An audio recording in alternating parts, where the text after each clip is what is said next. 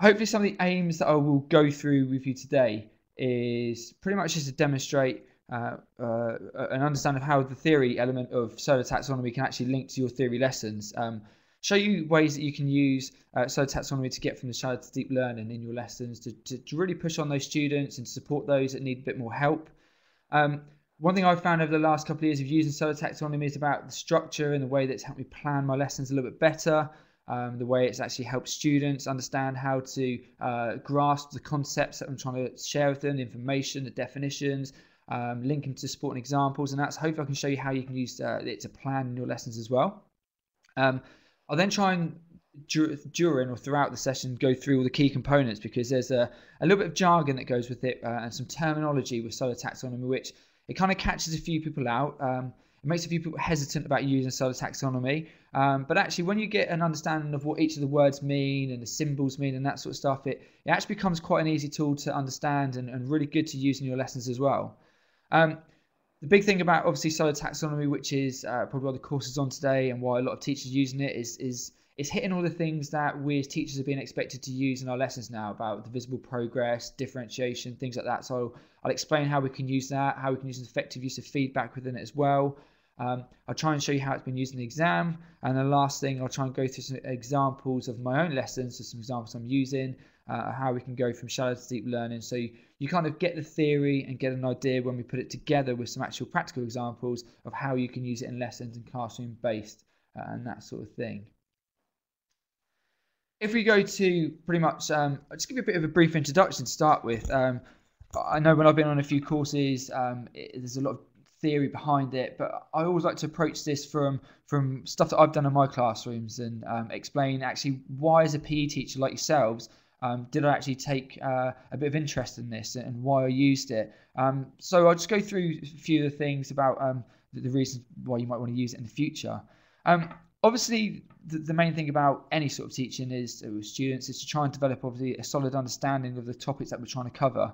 Um, we're trying to get them to be competent in the main facts that we're trying to go through. And, and GCSE whether it's on Edexcel or AQA, there are a lot of definitions. And I, we got a lot of students on our course when they get to year 11, or even ex students that come back in.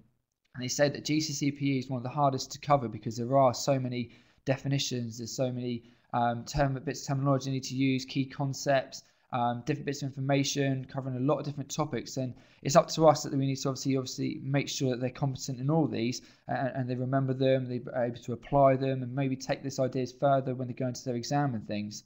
Um, obviously, we need to make sure that we impart the knowledge and we help them understand it. They can relate it to supporting examples and so on to other topics and that. Uh, and that our A star students actually need to go a little bit further still, and especially with AQA with the scenario, it really does draw upon students being able to use a lot of their knowledge from different topics and, and draw into those bigger answer questions right towards the end. Um, we also need to be able to, um, well, I needed to be able anyway, to ensure that students were going from shallow learning to deep learning, all the different topics that were going on in our lessons, um, and making sure that you know what Geoff Petty was talking about. Um, if you ever read his books, is is trying to have mastery tasks and developmental tasks in our lessons. So whenever we go to a brand new topic, whether it be uh, gender and sport, whether it be diet, that we're given all the basic bits of information first, but then we're developing through our lessons and going to the mastery stuff towards the end. And, and Solo really, really helps do that. And like I said, right at the very bottom there, um, is, is hopefully trying to develop a real understanding of the topics with the students so they really do understand all the basic facts, see how they link together, see how they can use them in real life supporting examples, and then pull in other topics as well. And Solo really helps you do that uh, uh, very, very effectively.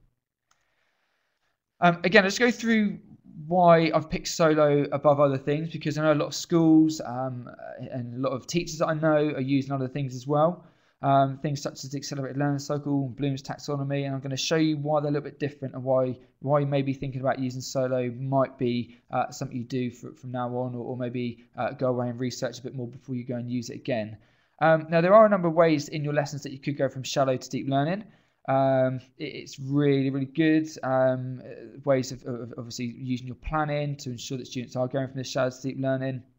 Um, and I said the key for us as practitioners is to make sure that we choose whichever method which works best. And for myself, after using the three which you can see on the screen there, solo taxonomy is the one that's worked really, really well. Um, initially, I started using the accelerated learning cycle, um, which is something to do with uh, Alistair Smith.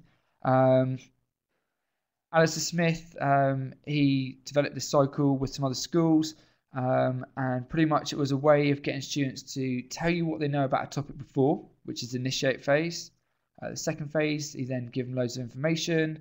Uh, and the third phase, you then get them to do a challenging task to prove that they understand the information. And then right at the very end, obviously, we look at um, reflecting upon what the students know.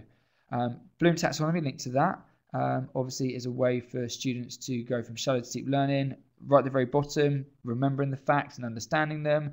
And right at the very top, obviously, with the taxonomy there, is getting them to think about evaluating and so on.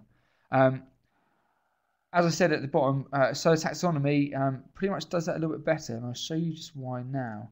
Um, if you look at Bloom's, like we said, um, in your lessons, if you're trying to plan out a theory lesson, we always want to try and get our students to gather an understanding. So we always try and impart lots of definitions, the keywords, the facts, and so on. So that's all the remembering aspect. And like I said, we move up the taxonomy if you ever used Bloom's before to get them to understand it, be able to apply it, get them to analyze um, how the particular topic we're covering at the moment uh, applies to a sport and analyze that sort of thing, and move up the ladder.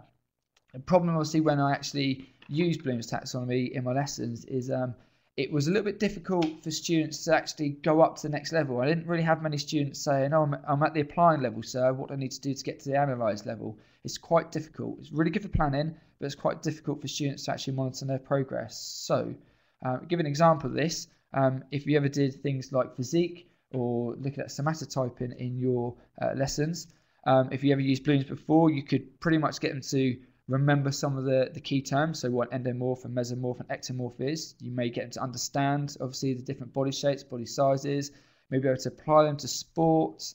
Um, you may be able to get them to analyze which sports would be best for different body shapes and so on, evaluate them, and maybe create some information again to go forward about how to um, use the body shapes in different sports as well. So that was the way that I used to plan my lessons to, to try and get them from shallow to deep learning. Um, but like I said, it's very difficult in my lessons for students to turn around and say, I'm at the understanding level now, how do I move on to the apply? Or I'm at the analysing, what do I need to do to move to the evaluating stage? Um, so when I was planning my lessons out to get from shallow to deep learning, um, it did get a little bit difficult with students. So as a result of that, uh, I moved on to something called solo taxonomy, which I'm going to spend uh, the next probably uh, 40 minutes, 45 minutes going through different ideas about what solo taxonomy is. Because I can see on the right hand side, um, there's a few people that haven't heard about it. And hopefully you'll see that it's a great way of getting students to assess their knowledge before. So if you were doing somatotyping or physique, you could ask them what do they know about the topic already. They could give you their ideas. You could then go away and teach them it and develop their understanding. Uh, and it, it, links in a lot of the Bloom's taxonomy stuff as well, but in much more uh, a visible way for students to, to monitor their their progress and so on. Um, so hopefully um, you will be able to see. Just out of interest, how many people have used Bloom's taxonomy uh, in their lessons before, or even used the accelerated learning cycle in their lessons before?